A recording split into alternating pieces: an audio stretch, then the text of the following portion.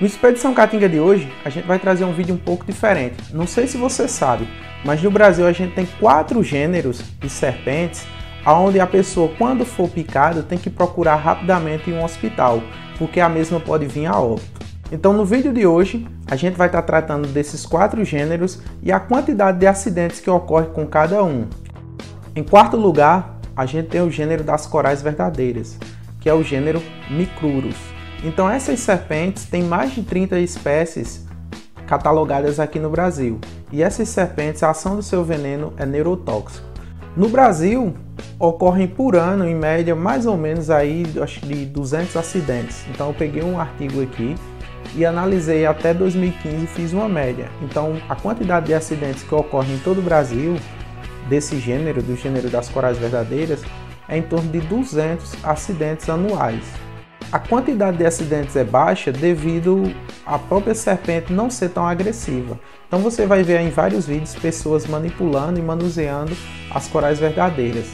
Elas só atacam em momentos extremos, ou seja, quando está realmente ameaçada, seja por alguém segurando, apertando, como algum vídeo já saiu aí, ou então quando a serpente se sente realmente ameaçada, uma serpente selvagem.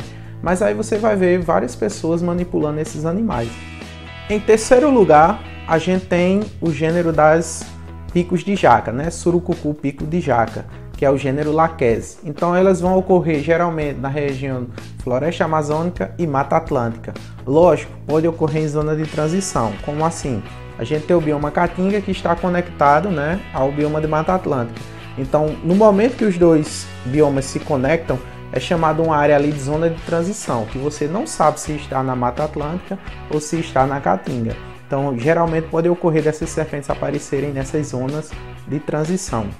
A ação do veneno da laquesis é a ação proteolítica, ou seja, no local da picada, quando a serpente morder, vai criar um edema e também necrose. Então, o que seria a necrose?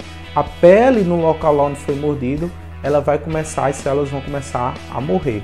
Então as pessoas devem procurar rapidamente um hospital, porque a serpente, por ser grande, passando até de 3 metros, a quantidade de pressão inoculada é muito grande também, sendo considerada a maior víbora né, da América. A quantidade de casos né, de acidentes aí das, do gênero Laques é em torno de 900 acidentes anuais.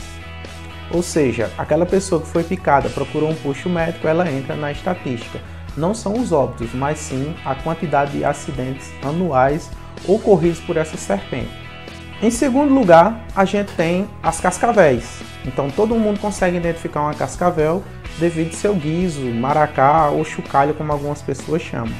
Aquele chocalho que ela tem, ou guiso, né, como alguns chamam, ela vai agitar quando ela se tem em perigo, seja por um predador ou então simplesmente o fato de você estar passando no local. Então a serpente avisa, né? sendo em último caso o bote. Então a, as cascavéis elas estão em segundo lugar, atingindo aí até quase 2 mil casos por ano. Lembrando que não são os óbitos, mas sim a estatística né, de pessoas que foram picadas por cascavéis. Então essas pessoas que foram picadas, né, a ação do veneno vai ser neurotóxica. Então vai atingir parte do sistema nervoso, causando muito, em muitos casos a insuficiência renal e levando a pessoa a óbito.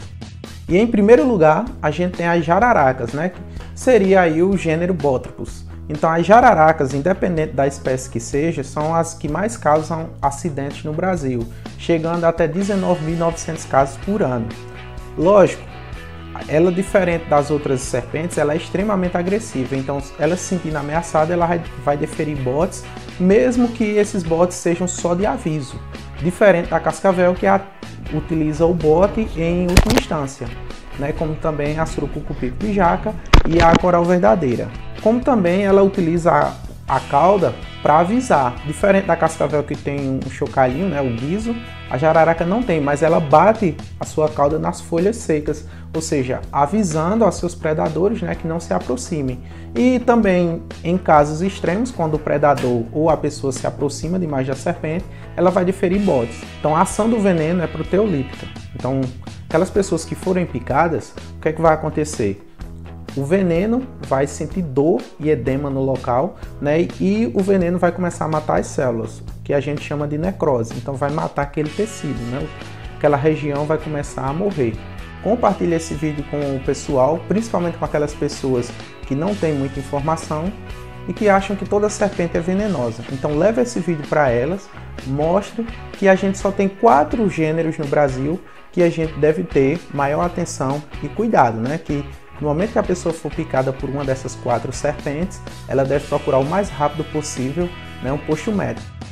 Caso você sofra um acidente com outra serpente e não sabe identificar qual é a serpente, a gente aconselha que você retire uma foto, né? Você tire uma foto do animal ou pegue o animal e leve até o posto médico ou o local que necessita, não sendo necessário abater o animal, matar o animal. Então você tem técnicas que você pode utilizar para capturar o animal e levar até o posto médico. Ou então, com o avanço da tecnologia, você basta tirar uma foto do animal sem precisar matar a mesma. Lembrando que cada serpente tem uma importância no bioma e no ecossistema. Então, quando você retira uma serpente, você está mexendo na cadeia ou na pirâmide ecológica do ecossistema.